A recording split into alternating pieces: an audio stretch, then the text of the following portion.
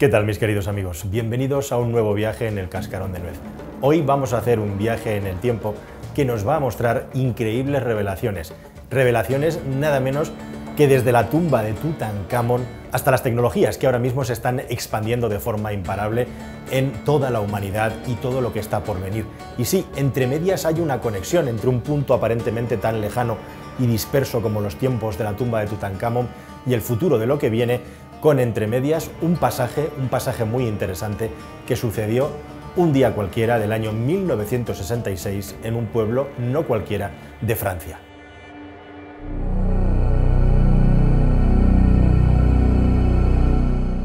Concretamente fue el 27 de junio de 1966 y el pueblo San Severán, San Severino.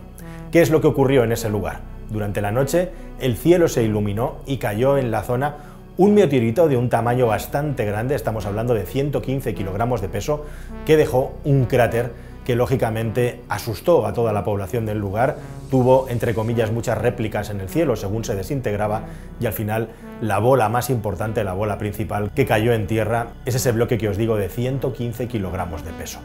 Científicos técnicos del país llegaron al lugar y se llevaron esa roca, esa piedra, para empezar a investigarla y nada especial o llamativo sucedió hasta que muchísimo tiempo después, prácticamente 30 años, en los años 80, ya con tecnologías de investigación y de análisis de la roca mucho más avanzadas que había por aquel entonces en los años 60, se descubrió que tenía una composición con un mineral extraterrestre extremadamente interesante. Este mineral extraterrestre se llama tetrataenita y no es ni más ni menos que una aleación específica que el universo nos ha fabricado utilizando principalmente dos materiales, dos minerales que tenemos en la Tierra, pero que no encontramos prácticamente nunca de manera natural con esta ordenación tan curiosa y tan llamativa como tiene la tetrataenita. Se trata de hierro y se trata de níquel. Y justamente esta tetrataenita que llega en rocas, en materiales del espacio, es muy parecida en propiedades a eso que sí que conocemos todo y que hemos oído hablar,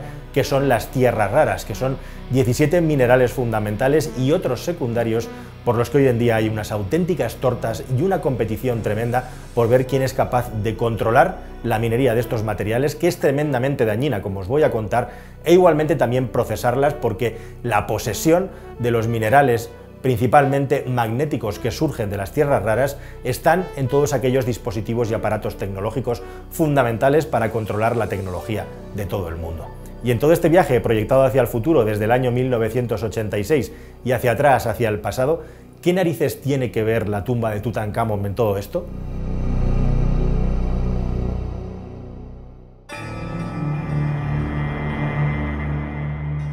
Como sabéis, la tumba de Tutankamón ha sido objeto de multitud de investigaciones, de estudios, de leyendas negras y también de mitología que ha llegado hasta nuestros días y se mantiene con todas esas maldiciones alrededor.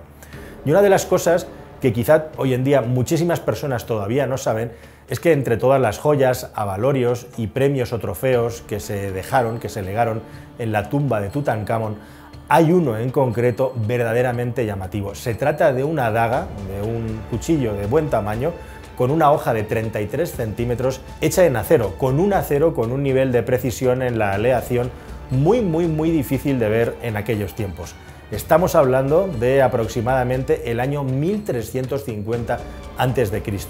Y aunque las aleaciones de acero eran muy poco comunes en esa época, os tengo que contar que los primeros vestigios que hemos encontrado en los que el ser humano dominaba esta aleación vienen, provienen de nada menos que el año 3000-3400 a.C. O sea que no era una tecnología completamente nueva, pero sí era una tecnología muy extraña y la procedencia aún así del hierro efectivamente era todavía más extraña porque se sabe que los egipcios precisamente no controlaban las técnicas como para poder producir el acero y por lo tanto ha llegado a la conclusión final la investigación alrededor, hecha durante muchas décadas y por muchos equipos distintos, de que esto fue una ofrenda, fue un regalo de una civilización distinta a la egipcia.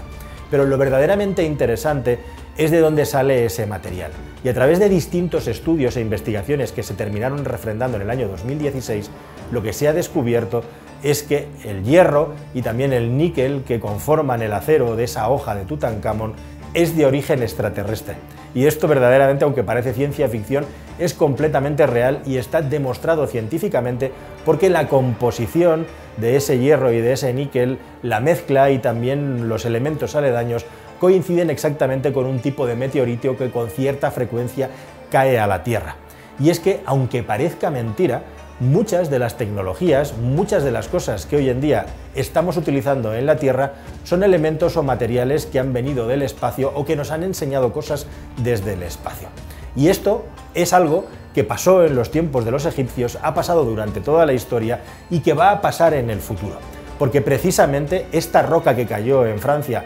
muchos siglos después de esta ofrenda a Tutankamón encierra un secreto que justamente ahora los científicos están empezando a desvelar y no solamente eso, y lo que es más importante y el motivo de este vídeo, a reproducir dentro de un laboratorio. Y aquí es donde empieza o termina esta historia porque puede cambiarlo todo.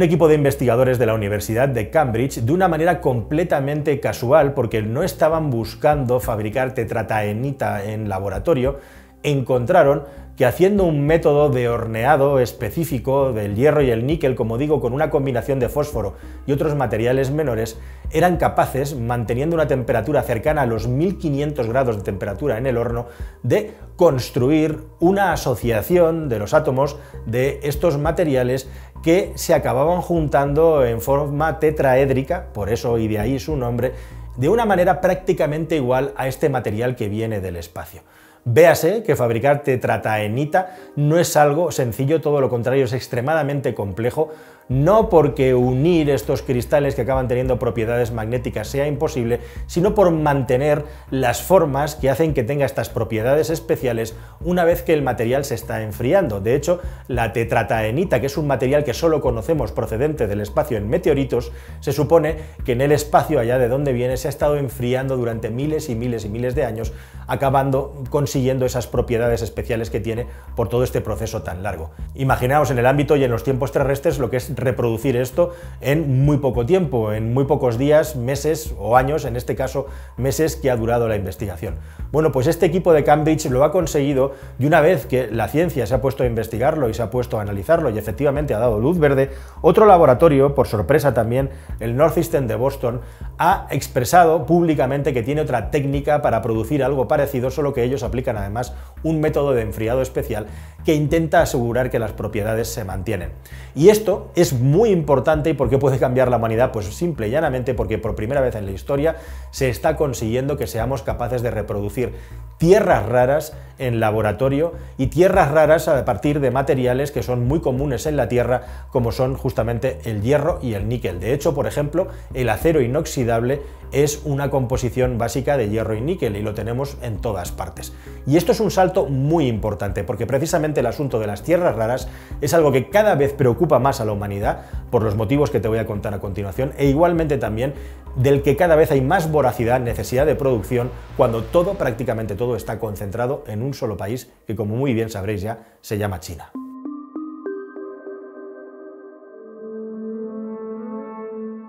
Para que os hagáis una idea, en el año 2010 se produjeron aproximadamente 133.000 toneladas de tierras raras. Y en el año 2023, en este año, se van a producir ya más de 300.000 toneladas de tierras raras. Y las tierras raras en un 70% se minan en China. Es el país con diferencia que desde hace muchas, muchas, muchas décadas tiene más minas en funcionamiento de tierras raras. Tenéis que saber también que las minas de tierras raras son algunas de las minas más profundas, más grandes y más agresivas con muchísima diferencia respecto al medio ambiente de todo el planeta Tierra, porque las tierras raras lógicamente no están por ahí esparcidas y repartidas, sino que hay un proceso muy muy muy intenso de destilado y de separación hasta llegar a conseguir los minerales que necesitamos para fabricar toda clase de imanes que están en los coches eléctricos, los imanes gigantes que tienen equipos de energías renovables como por ejemplo los molinos eólicos, GPS, sistemas de radar y en definitiva cualquier sistema de conexión o de tecnología que estemos utilizando hoy en día, incluidos los motores eléctricos tan importantes, allá donde haya un imán